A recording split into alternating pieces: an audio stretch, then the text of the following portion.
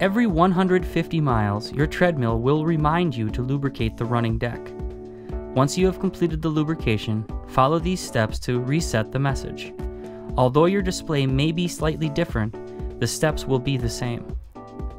Simultaneously press and hold the speed up arrow or speed plus and the stop button for 5 to 7 seconds. The console will beep several times and return to the regular display.